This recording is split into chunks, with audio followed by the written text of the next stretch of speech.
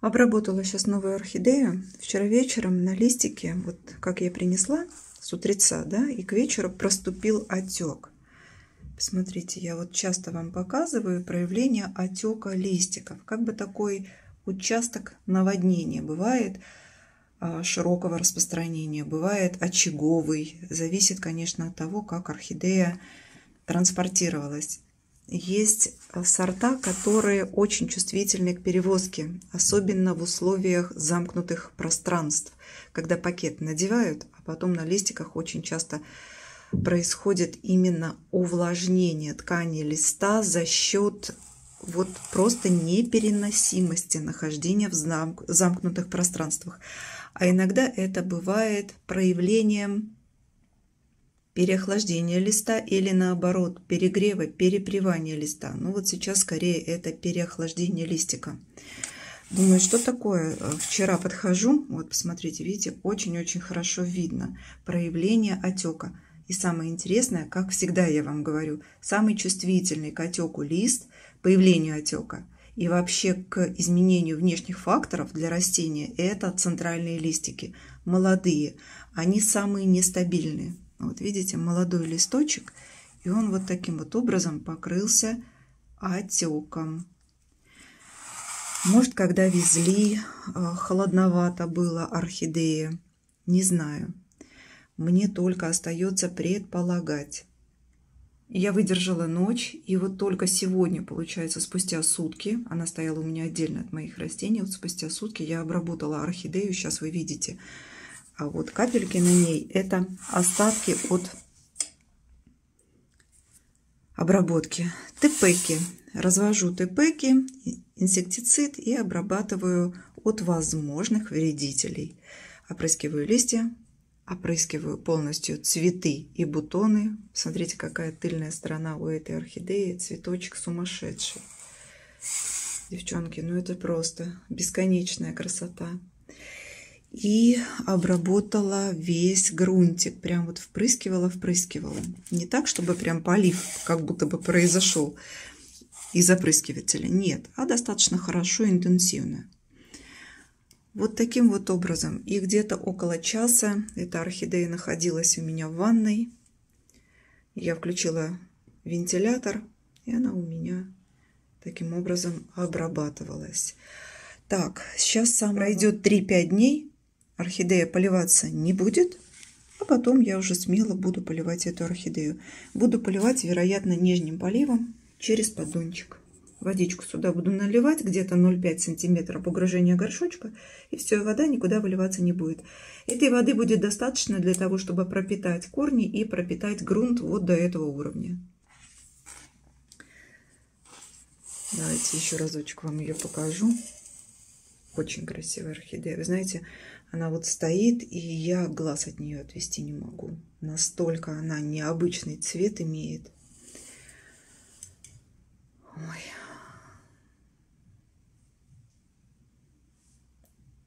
Умеет Вика обратить мое внимание на орхидею. У меня глаза, если честно, там расплываются, когда я снимаю обзор.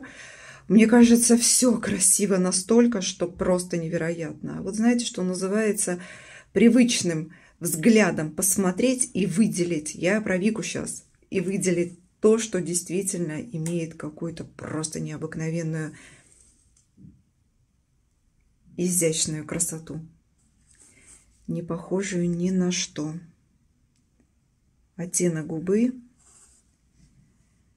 Ой, девчонки, вы знаете, вот сейчас стала присматриваться, она какая-то еще с коричневатым отливом. Вот как будто бы вот коричневые вкрапления есть на основном оттенке именно створок.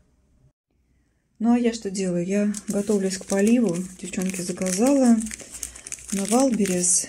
Девушка мне написала на ютубе, когда я показывала выжелтевающие листья одной орхидеи, помните, с прекрасной корневой. И девчонка мне написала, Ирин, смотрите, сделайте следующую череду обработок. Вначале феровит с цитовитом, разведите в одном флаконе, опрыскайте листочки и по корням дайте.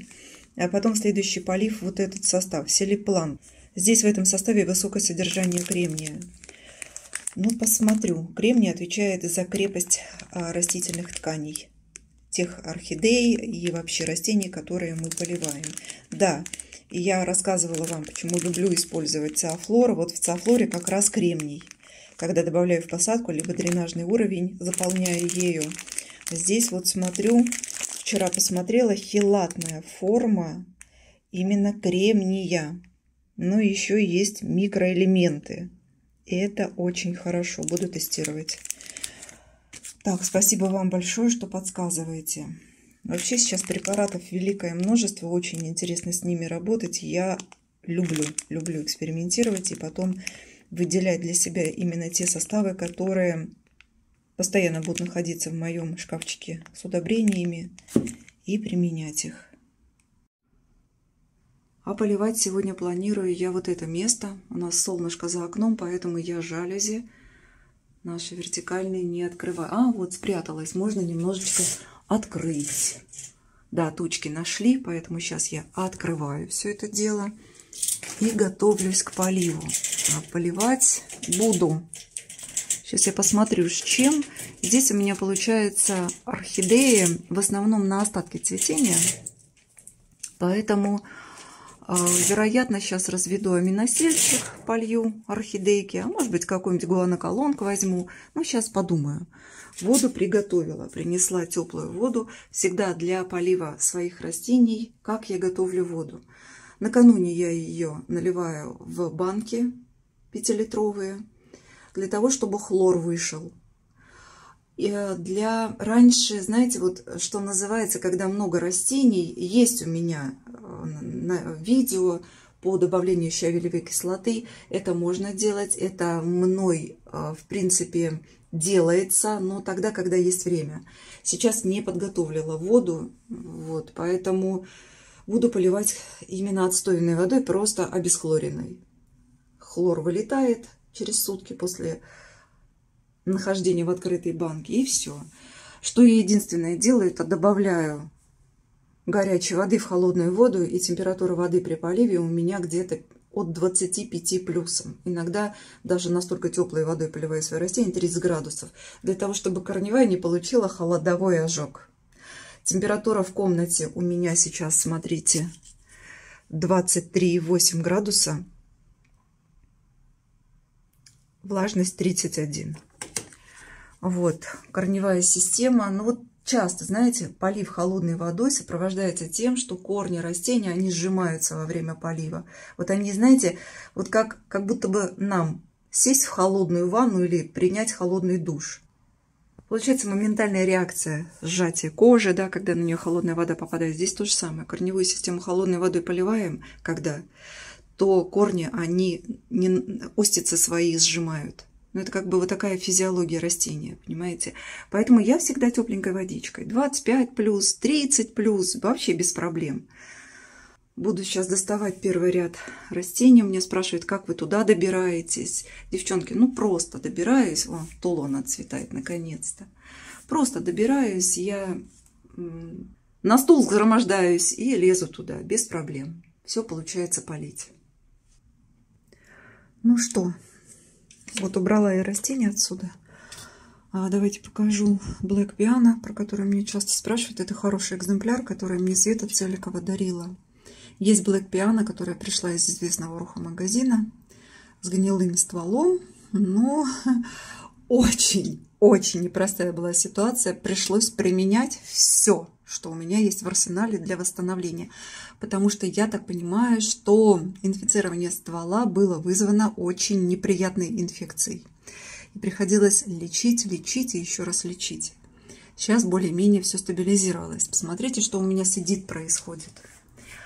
Эдит – это орхидея биглип, которую я купила с цветоносом из точки роста. Вот он, этот цветонос. Появилась детка. Детка сейчас пошла активно в рост. Но я очень хочу от нее получить побольше прибавку по корням. Но вы знаете что? Сейчас силы опять ее матушки распределились на детку и на нее любимую. Видите, что делает? Один цветонос дала, и вон он второй. Цветонос пробудила. Я уже говорю, Господи, займись детем. Хватит красоту показывать. Э, другое название этого биглипа – Рионг эстима. Вот так вот, таким образом разговариваю с растениями. И хочу у них все-таки получить прирост по детке. Ну, видела я, милая, как ты цветешь. Ну, хватит уже. Давай о детке подумай. Что сделала? Я сейчас полила ее гуаноколонг. Знаете, каким? Но так как бутонизация идет, не хочу я убирать у нее цветоносы, и рост детки пошел, я полила удобрением гуаноколонг блюм. И для цветения, и там формула по калию хорошая, и азот есть. Поэтому решила дать это удобрение. И, кстати, здесь старый грунт, это удобрение очень хорошо влияет на экосистему посадки, не засоляет грунты. Вот как раз поэтому его и дала, чтобы поддержать и материнскую орхидею, и детку. Так, давайте покажу, что здесь у меня получается второй уровень сверху. Вот он один, вот он второй. Очень долго цветет этим цветоносом орхидея под названием Эсме. Цвет у нее... А, вот, начала уже отцветать, видите? Было бы сказано, будет сделано. А, очень долго цвела. У нее в этом цветении было три цветоносика, но как-то не сильно они были покрыты цветами. Вообще вот эта орхидея, она стала немножко по-другому цвести в плане количества цветов на цветоносе, когда я ее сюда переставила. Она у меня стояла на цементированном стеллаже. Классно ей было. А сейчас у нее как-то вот, вы знаете, здоровенная. Так, что у нас тут такое? Здоровенная лошадушка. Вон, видите, пересадка ей требуется. Горшок 0,6, поверите? Так, дальше. У нас цветонос вызревает обалденный на орхидеи персики. Не идеальный персик, нет. Именно персики. Сейчас я вам покажу. Но это уже выцвевший цветок один в сухом остатке. Вот реально в сухом остатке, видите, уже подсыхать начал.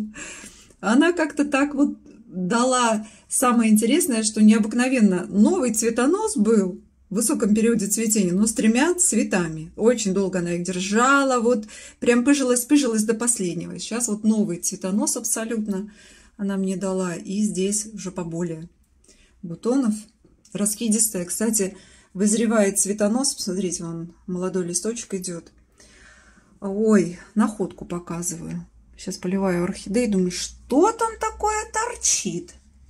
Девочки, вот посмотрите название. Орхидеи. Firework. Фейерверк. Это мне написали, кстати. Firework. Как-то так. Не знаю. Девчонки, не буду коверкать название. А, эту орхидею мне а, по названию помогли найти. И думаю, что там такое торчит? Смотрите, детка со стволика вышла. Там у нее, вот видите, пенек, это было две детки, которые были, появились одномоментно практически на орхидее, у которой была закрыта точка роста а нет, она была вообще пропавшая точка роста. Там хороший кустик был у матушки в нижней части, а потом детки появились. Я их сняла одновременно и посадила в одну посадку. Вот это вот, вот это, она как бы не стала развиваться, нижняя детка, от нее остался сухарь. Вот это стало развиваться, и вот сейчас смотрю, откуда появился росток. Я думала, от вот этого сухарика, который вот остался остов. Нет, детка появилась с нижней части вот этой. орхидеи. Думаю, боже мой. Но она еще тут и цветами занялась. Видите, вот какое колено цветет. Раз, э, так, э, основной, основной цветонос, вот э, боковое отделение, боковое отделение, второе, третье колено цветет, представляете? Дает цветонос. Э, я вам показывала уже эту красавицу. Восстановила я наконец-то орхидею. Могу сказать, э, все твердый закрепленный результат. Представляете, глубокого фузариозного увядания материнской орхидеи.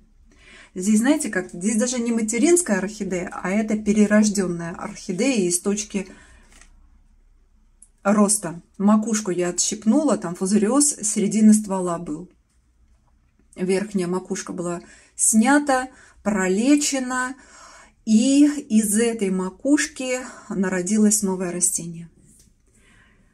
Это, знаете, можно сказать, когда ведется борьба с фузариозным увяданием, здесь очень сложно что-либо предугадать. И понимать, четкого понимания, получится или нет, ни у кого нет. Потому что фузариоз – это очень неприятное заболевание, с которым очень сложно вести борьбу. Но ничего, это вот, знаете, в копилочку именно восстановленных растений после фузариозных увяданий. Так, что еще вам показать? Ну, поливаю, поливаю все подряд. Цветущие у меня сейчас, вот, они у меня политы чистой водой. А все остальное я развела гоноколон блюм и полила все-все орхидеюшки. Сейчас в этом уровне. Какой метод полива я использую? Кто знает, кто знает, кто не знает, рассказываю. Или напоминаю даже тем, кто знает. Метод полива всегда долив и оставлением воды в нижней части горшка. Ровно столько, сколько способна орхидея поглотить грунтом и корнями за сутки. Потом уровень поливочной воды, он опускается вниз, все, и начинает работать система аэрирования нижнего части, нижней части посадки за счет дренажных отверстий в нижнем уровне, ну, на, на донцах, в донцах горшочка. Вот так я поливаю свои растения. Никаких замачиваний, тасканий растений туда-сюда я не делаю. Вы мне спросите, а что это такое? Девчонки, вот это яркий пример нехватки микроэлемента магния и фосфора. Выкрасневание вот так вот листочков. Почему? Вот эта орхидея, она всегда так себя ведет, чем бы я ее не подкармливала. Не знаю, что такое. Может быть, это какая-то такая специфика растения. Вот видите, укороченные листочки. То же самое было на каждом листике. Но самое интересное, когда я отсекаю, это все останавливается. Вот, видите, здесь то же самое. Здесь вон проглядываются такие фиолетово-розовые листья. Верхняя часть хорошая, а наземная часть, она вот, вернее, нижняя часть, она как бы вот так вот начинает э, показывать выкрасневание кончиков. Орхидея под названием не это, не это вот, сакрамента. Потому что она цветет все время. Я говорю, ой, мисс уже, Давай вот как бы приди в себя, а потом уже цвети. Ну нет, она с цветами стоит всегда. Поэтому что я делаю? Вот так вот беру секатор, отрезаю зеленочкой место среза, покрываю. И все останавливается.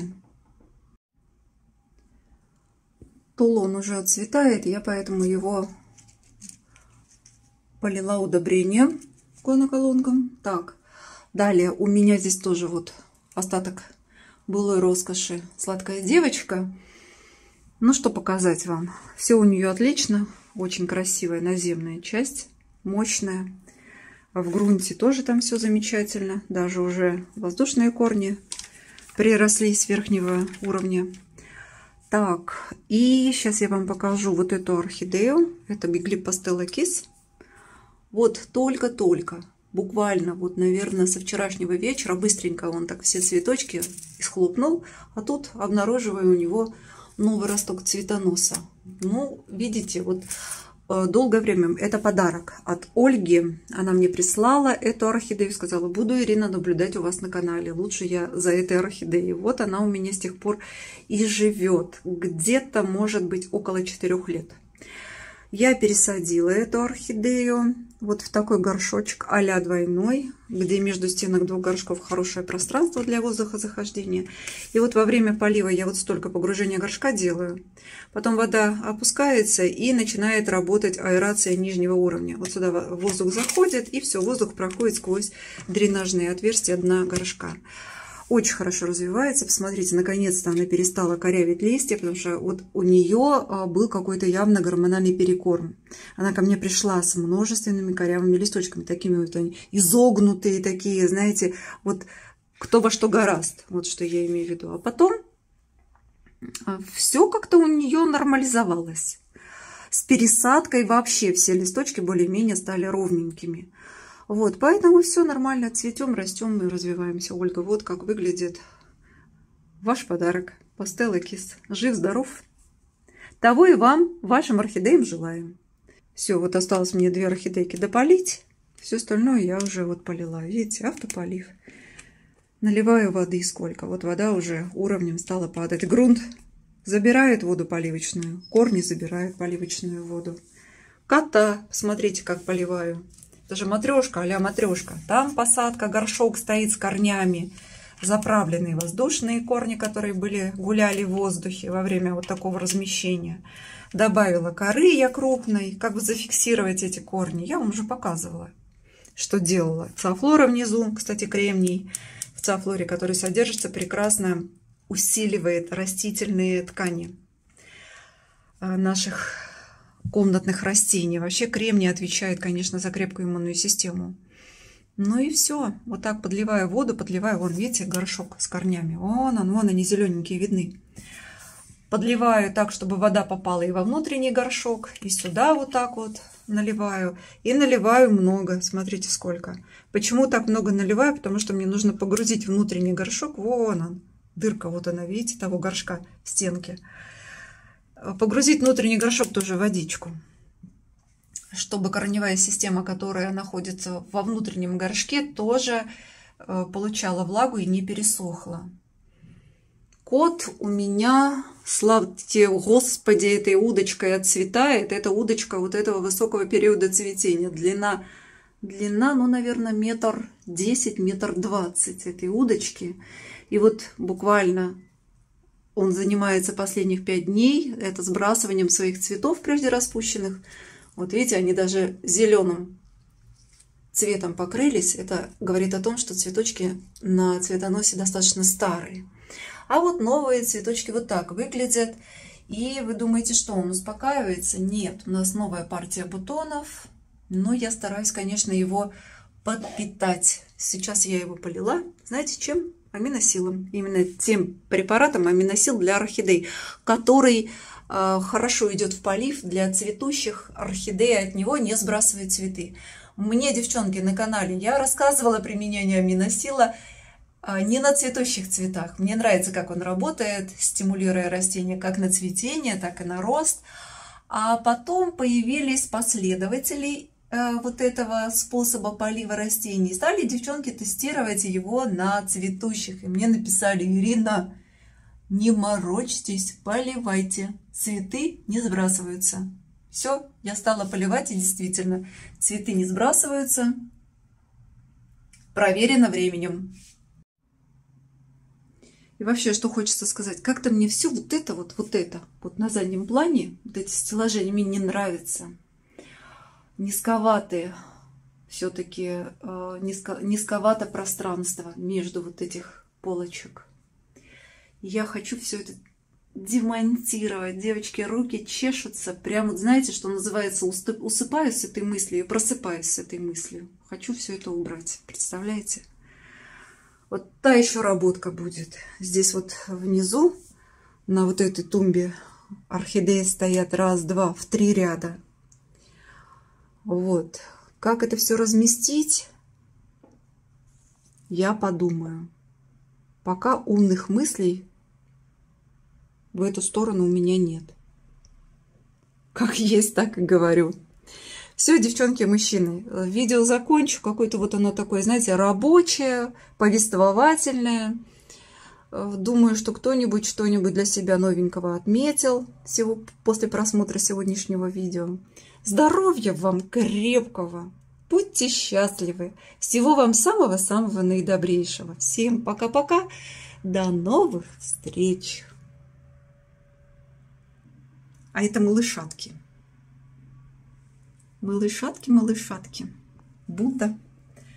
Я его разыграла, надо сейчас вот уже стабилизировались температурные режимы. Для отправки сейчас уже ничего растениям не угрожает, поэтому буду отправлять.